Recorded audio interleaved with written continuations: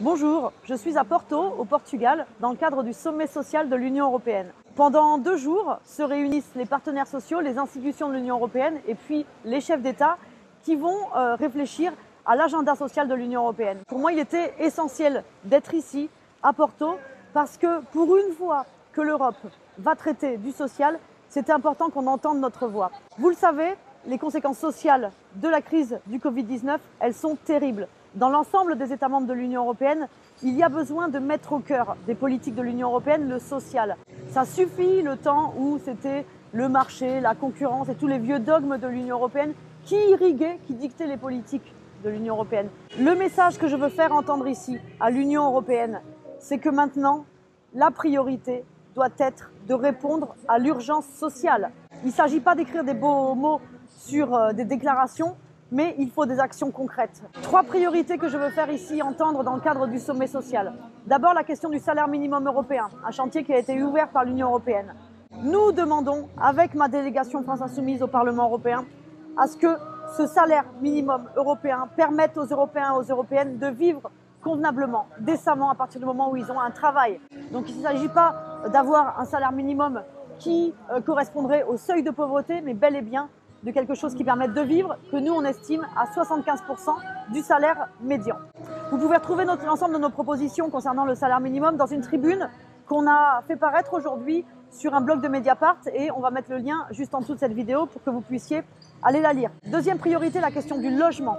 Le mal logement était un fléau en Europe, c'est d'autant plus un fléau depuis la crise du Covid-19 qui a plongé des millions et des millions d'Européens, d'Européennes dans la difficulté de payer son loyer ou de choisir entre payer son loyer ou remplir son frigo. Maintenant, ça suffit avec ces règles absurdes de l'Union européenne qui empêchent les États membres d'investir dans le logement public sous prétexte que ça ferait concurrence au marché privé.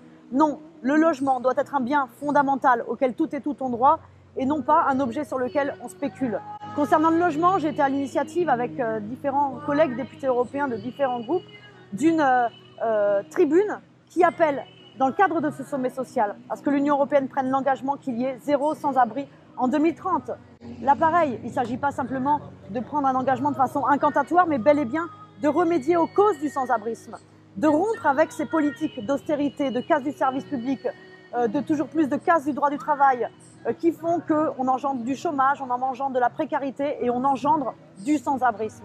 Troisième priorité, la question des travailleurs des plateformes numériques. Vous savez que c'est une question qui me tient à cœur. L'Union européenne a euh, commencé un chantier sur cette question.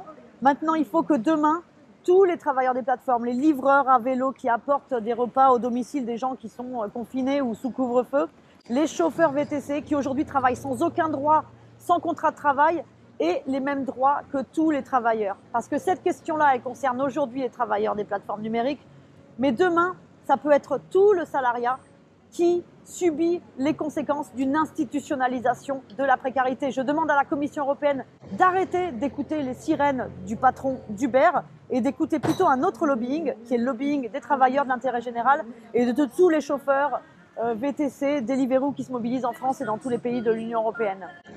Ces trois chantiers, donc, salaire minimum, logement, travailleurs des plateformes numériques, il faut qu'ils soient au cœur des décisions qui vont être prises pendant ces deux jours. Pour moi, c'était important d'être présente ici à Porto. C'est pas souvent que l'Union européenne parle de social. Hein. Ce qu'on entend plutôt comme petite musique, c'est euh, plutôt celle de la concurrence, du marché. La pandémie a montré que tout ça, c'était plus d'actualité.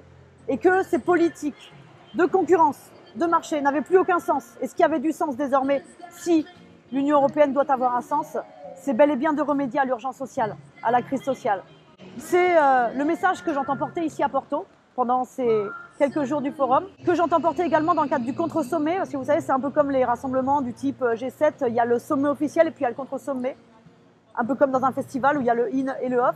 Dans le cadre du contre-sommet, je suis euh, invitée à un débat sur les travailleurs des plateformes, justement, qu'on vous rediffusera sur ma page Facebook, sur les réseaux sociaux, demain matin, demain matin vendredi.